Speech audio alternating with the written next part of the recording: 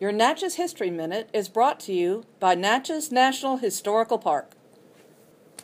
In a letter written on this day, January 25, 1864, an unidentified member of the 14th Wisconsin Infantry described the destruction of the slave pens at the forks of the road.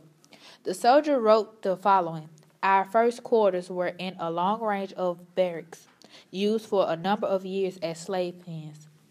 Very many of the men composing the colored regiment had been sold in them brought from Kentucky, Tennessee, Virginia, and other slave states. In large gangs iron, they were placed in these dungeons until a cell could be effected. As the position was very much exposed, we were ordered to construct the barracks within the fortifications and to tear down these slave pens to obtain lumber to build them.